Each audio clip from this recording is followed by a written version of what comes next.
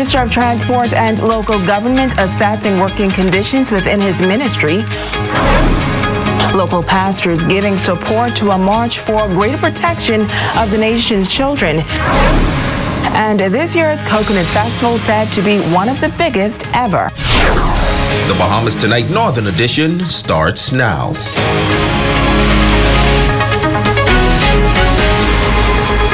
This is the Bahamas Tonight, the Northern Edition. Good evening, all. I'm Shashina Rule Farquharson. As always, it is so great to have you with us. Topping the news tonight, the Minister of Transport and Local Government getting a first-hand view of operations of the departments within his ministry. During a recent visit to Grand Bahama, the minister was taken on a tour of the various offices to look at working conditions and some of the day-to-day challenges. Tonight, he shares some of the findings as well as plans to address them. Italia Hall reports.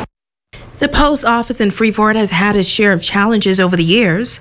The building has been in a state of disrepair for some time now, and employees have been working shorter shifts due to poor working conditions. The Minister of Transport and Local Government, the Honorable Renward Wells, says he was able to tour the post office and is aware of the situations. There's been some issues with the installed air conditioning units and the building itself. Uh, we are aware of the, what those issues are, and um, we're going to be seeking to address address those issues in the new budget period. You know, uh, July 1st is the beginning of the new budget year, and that's when government uh, really lays out during the budget debate in June. We lay out what our priorities are, and so I'm going to be looking forward as to how we can correct any deficiencies that we may have uh, with the post office here in Grand Bahama. He says he wants Grand Bahamians to have confidence in his ministry. Because look what we have done in regards to the post office in, in New Providence. You know, you've had an ongoing situation with the General Post Office. We're now going to be moving into a beautiful edifice in the town center mall in May. And um, uh, we, the Bahamian people will see that uh, uh, we not only walk the walk, we not only talk the talk, but we walk the walk. He says he also had an opportunity to visit the other post offices on Grand Bahama, heard the concerns, and knows that those issues will be addressed. The minister says there has also been a cry for more staff in several departments that fall under his ministry. Whether it's the port, road traffic, um, the uh, post office, the Met office, and the government has taken a really keen interest in making sure we right staff the various department, departments in the Ministry of Transport and Local Government. And as it relates to local government, he believes that it is still effective on Grand Bahama. The local government practitioners, the Family Island administrators here in GB have been uh, working tirelessly to try and deliver for residents, and uh, the ministry, uh, the Department of Local Government, is come alongside, walking hand in hand with them, seeking to ensure that the residents, uh, the Bahamian people, um, get what it is that they, they are so deserving of. Italia Hall, ZNS Network News. This coming Thursday, residents on Grand Bahama will take part in a march against child sexual molestation in the country. Tonight, local pastors are also joining in the fight, and they are encouraging you to do the same. More pastors in the Grand Bahama community are pledging support to the Stop the Molestation March that is set for this coming Thursday. The church has had its fair share of criticisms from some in the community who have questioned their collective voice on this matter. Apostle Anthony Grant says while within the four walls of the church, as a body, they speak out against this heinous act. More must be done, he admits, publicly to bring awareness. When you think about speaking out in public about it. Yes, you, you haven't heard from the church as much as you should, maybe, but pastors preach it all the time. They talk to the congregations about it all the time. So it's out there, and our, our people know that we uh, have, have, a problem with it, that we're against it, and that the children need a voice. You know, we uh, this kind of, of thing going on in our community is destructive to the next generation. I was I was reading where the statistic shows that uh, those young uh, people who are Uh, promiscuous, sexually promiscuous, 45% of them have been molested. Pastor Cedric Beckles of Life Holiness and Apostle Anne Grant of Agape House Church agree, but they say the people of Grand Bahama must stand up as well, and that is why they should make it a point to attend this march.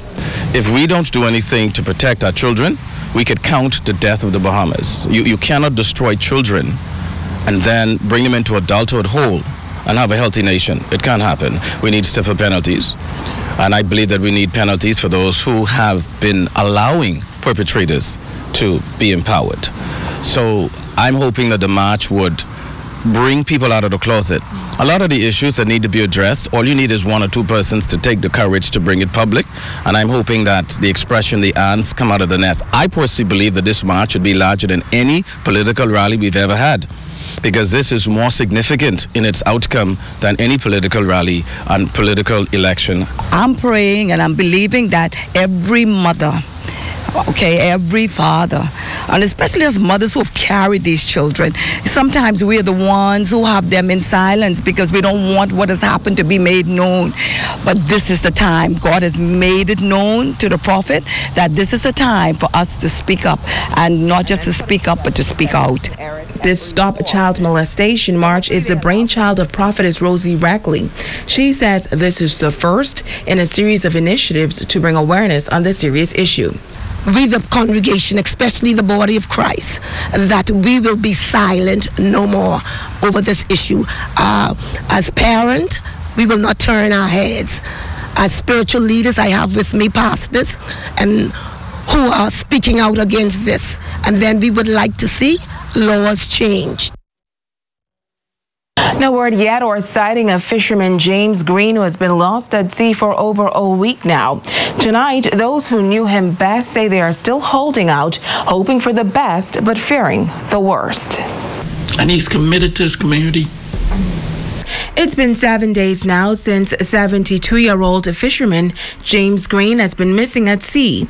Leroy Magoo Rackley, chairman of the Casimir Rackley Basketball Association, fought back tears as he spoke about his friend of over 30 years. Good.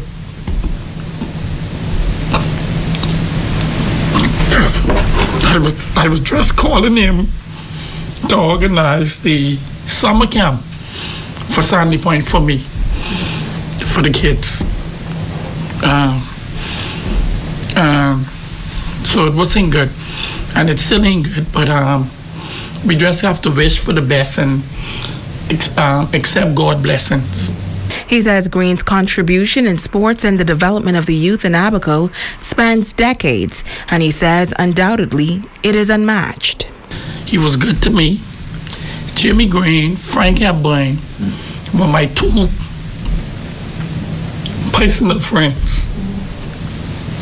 When, when it comes when it comes to sports and Abaco, and you get on any sports complex, either is track and field, basketball, baseball, softball, Jimmy Green and Frank Abraham is there. He says Green is a great treasure to the people of Abaco, and because of his hard work, his organization recognized him just last month. He says Green was grateful for the honor. When I walk, when I walk in, he stood up from the table and he hugged me and he didn't want to let me go. And he said, Thank you. And that's the last time he would have seen or spoken to the missing fisherman. One week later, he shares his hope. Well, where they saying they're finding the boat, I don't, I, I, I really don't. I know it's gonna be a little. It's, it, I mean, I get hope for the best, but but but by God blessing, I don't, I don't, I don't think it's nowhere, nowhere they gonna come up with Jimmy. Not not out there, because I did a lot of fishing in that area, and then the weather was bad. The weather was bad. But he, he, he was a sweet person, very sweet. Switching gears now, the driver of a dump truck escaped serious injuries yesterday when the vehicle overturned on the Mall Drive in the vicinity of AID. The driver, a resident of 8 Mile Rock, was traveling along Queens Highway and attempted to make a right turn on the Mall Drive when the weight of the dump truck is shifted and the truck loaded with soil overturned. The driver was able to get out of that vehicle and, though shaken, he walked away without a scratch. Police say there were other vehicles traveling traveling in the immediate area at the time of the incident. Investigations are continuing. Stay with us. There's more news right after the break.